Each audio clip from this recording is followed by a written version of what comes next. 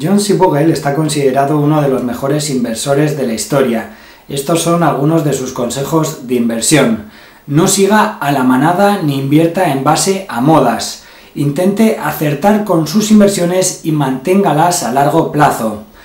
Fíjese unos objetivos de rentabilidad realista. Una rentabilidad del 7,5 anual para un inversor en renta variable sería un buen objetivo y por último, intente abarcar la mayor parte del mercado eligiendo fondos referenciados a índices.